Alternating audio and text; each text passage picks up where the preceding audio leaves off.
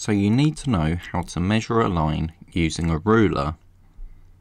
So you bring your ruler up to the line and place it so that it's right on the line.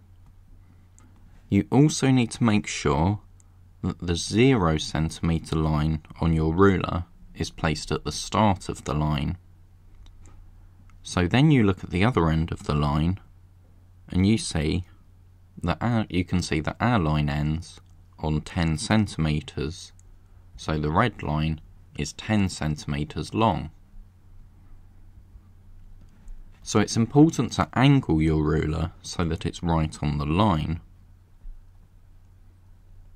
And again, you make sure that 0 centimeters is where the line starts. So how long is this line?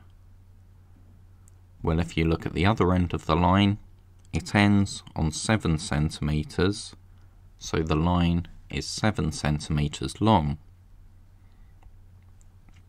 So what are the two things that we need to remember when measuring lines? We need to make sure we've turned our ruler so it goes right along the line. And we also need to remember that the start of the line must be at 0 centimeters on our ruler. So then we can look at the other end of the line and we can see that this line is 12 centimeters long.